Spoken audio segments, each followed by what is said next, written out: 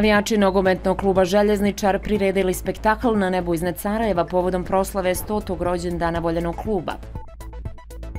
Državni službenici u ponedeljak protestiraju pred parlamentom. Hoće li primiti plaće, sutra odlučuju zastupnici koji su u bojkotu. Talibani mnogim ženama zaposlenim u gradskim službama u Kabulu naredili da ostanu kod kuće. 20 odvažnih žena izašlo na protest.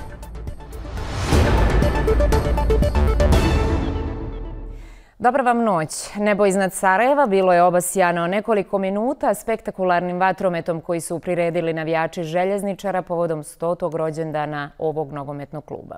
Manijaci su tokom utakmice protiv Veleža počeli proslavu rođendana. Ona je nastavljena na večer na željezničkoj stanici kada je napravljena simbolična bakljada duže željezničke pruge kojim je prošla i lokomotiva kao jedan od simbola kluba Zgrbavice, a proslava je krunisana večerašnjim vatrometom gdje je sa 350 lokacija ispaljeno 500 vatrometa. Nogometni klub Željezničar je osnovan 19. septembra 1921. godine i u stogodišnjoj historiji je sedam puta bio prvak, jednom u SFR Jugoslaviji i šest puta u Bosni i Hercegovini. Državni službenici u iščekivanju sjednice zastupničkog doma. Sjednica je zakazana, pozivi upućeni, no ko će doći i hoće li sjednica biti održana, niko ne zna. Upitno je i hoće li svi koji dođu glasati, a upravo to državni službenici očekuju. U protivnom, hiljade državnih službenika mogla bi ostati bez plaća. Zato će ishod sjednice čekati ispred zgrade parlamenta na protestima. Sjednica predstavničkog doma parlamenta BiH zakazana za sutra prema najavi Milorada Dodika, lidera SNSD-a, proći će bez poslanika iz RS-a. Dodik najavljuje nastavak bojkota dok zakon o zabrani negiranja genocida ne bude stavljen van snage. Neće niko ići u Srba i to je to, šta? Pa što, eto, to će to što ono iz kaže, puhać, kako on to kaže. Ili kao Željko Komšić slavodobitno priča o početkom augusta, ka, a to je godišnji odmor, pa evo sad ćemo vidjeti uz godišnji odmor.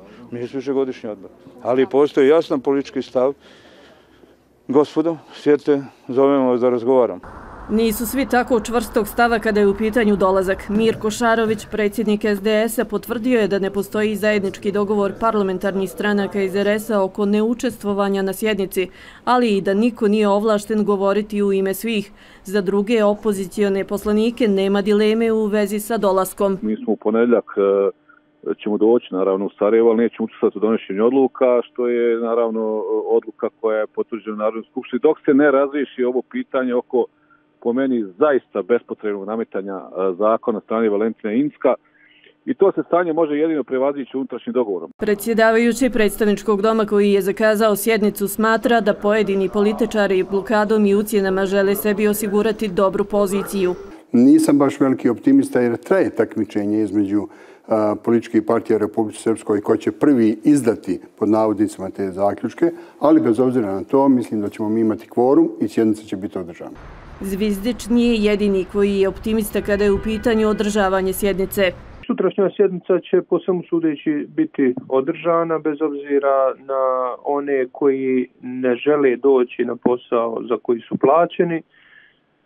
Naravno, sve te odluke moraju biti potvrđene u Domu naroda gdje je situacija potpuno drugačija jer je zahvaljujući SDA-u SNSD i HDZ dobio po tog četvrtog i čine većinu. Treba vidjeti kako iz ove krize izaći i vjerujemo dakle da je funkcioniranje sustava poštivajući i respektirajući sviju i njihove legitimne političke stavove nešto što treba imati na umu. Blokade institucija već su oproban recept Milorada Dodika što je do sada rezultiralo vraćanjem na staro, ubjeđeni prvi čovjek SDA. Zbog toga je potrebno hladne glave pristupiti stabilizaciji stanja. Ja sam na vezi sa nekim ljudima u SNSD-u i oni očekuju da to sve skupa stane i mi ih ohrabrujemo u tom smjeru da to sve skupa stane, da se stvari smire, da pružimo jedne drugima ruku. Visoki predstavnik Kristijan Schmidt podsjeća bez dijaloga svih nema ni rješenja.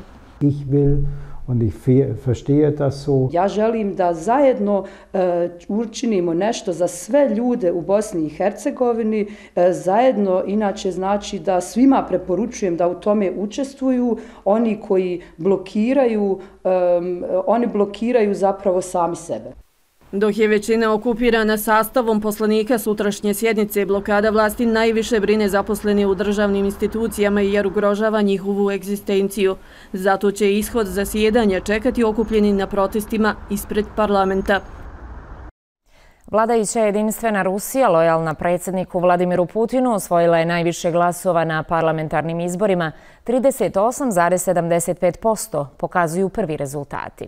Riječ je o rezultatima za 225 mandata koji se biraju prema proporcionalnom sistemu, odnosno putem lista, dok će preostalih 225 zastupnika Dume biti izabrano prema većinskom principu individualnim nadmetanjem kandidata.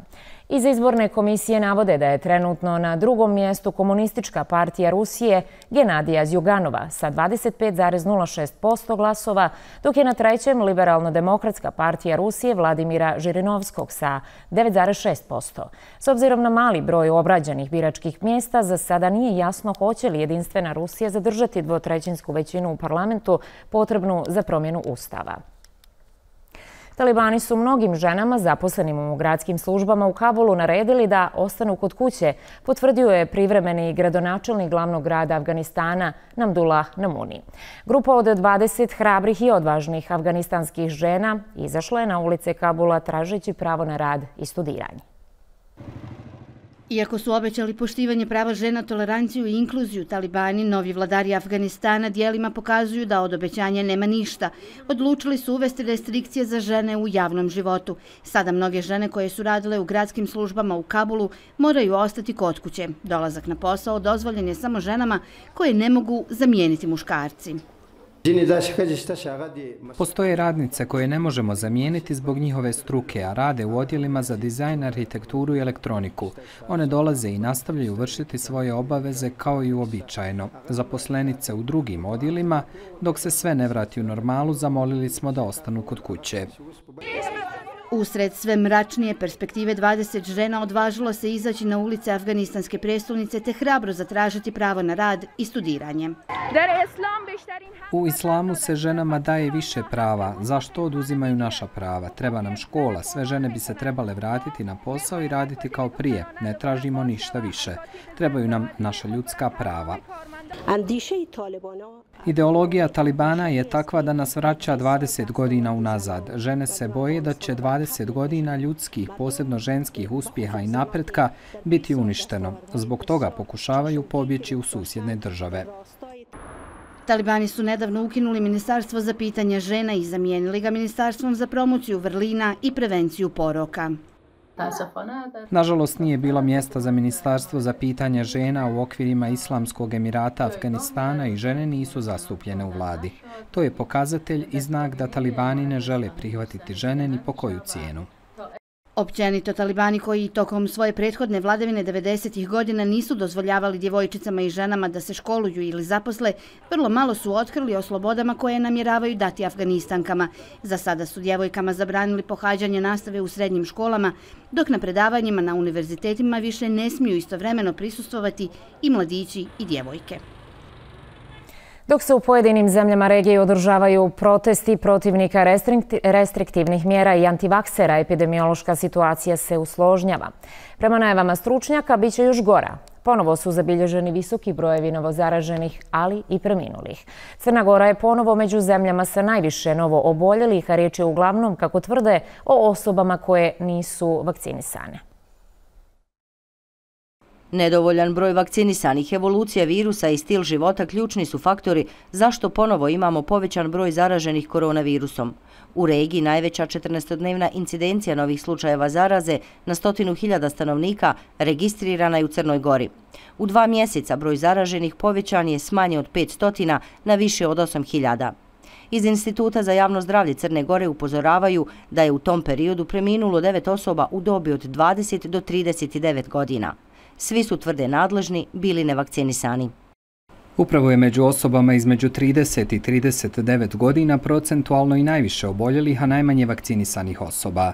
Prema zvaničnim podacima, u Crnoj Gori od 4. maja, kada je počela masovna imunizacija, do danas 86,5% od ukupnog broja preminulih bile su nevakcinisane osobe. Komplicira se epidemiološka situacija u Srbiji. Bolnice u crvenim zonama se pune. Starosna granica oboljelih se sve više spušta, a među zaraženima ima i djece. Ponovo apeli. Vakcinišite se. Iako ni vakcina nije sve moguća, ključni alat za prevazilaženje pandemije. Vakcinacijom obuhvat mora biti mnogo veći. Zašto je to tako? Prvo zato što imunitet nakon preležane koronavirusne infekcije nije dugotrajan. I to je u stvari najveći problem zašto i oni koji su prirodno preležani infekciju ponovo je dobijaju, a to se naravno onda dešava i sa vakcinisanima.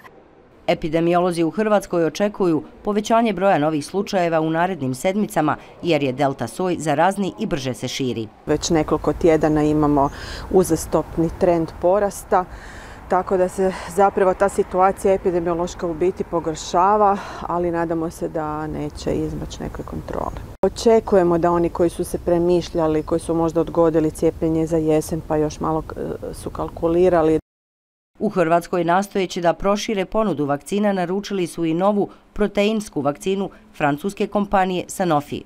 U njoj nema genetskog materijala, slična je tradicionalnim vakcinama, a i jeftinija je od takozvanih RNK i DNK vakcina. U protekla 24 sata u našoj zemlji zabilježen je 431 novi slučaj zaraze koronavirusom od 1749 obrađenih testova. Preminule su 24 osobe. U federaciji prijavljeno je 196 pozitivnih uzoraka, preminulo je 6 osoba. U Republici Srpskoj koronavirus je potvrđen kod 230 osoba, prijavljeno je 18 smrtnih ishoda. U Brčko distriktu je registrirano petoro novozaraženih. U 68. godini preminula je Marina Tucaković, jedna od najpoznatijih autorica muzičkih hitova u regionu. Godinama se borila sa karcinomom, a prije nekoliko dana joj je e diagnosticiran koronavirus, nakon čega je bila hospitalizirana. Ostaće upamćena kao autor velikih hitova za mnogobrojne izvođače sa ovih prostora. Sutra u Bosni i Hercegovini pretežno oblačno vrijeme. U Hercegovini i na jugozapadu Bosne tokom dana razvedravanje. U jutarnjim satima kiša i pljuskovi sa grmljavinom u većem dijelu naše zemlje. Jutarnja temperatura od 10 do 16, na jugu do 20, a dnevna od 13 do 19, na jugu zemlje od 20 do 26 stepeni. Hvala na povjerenju i laka vam noć.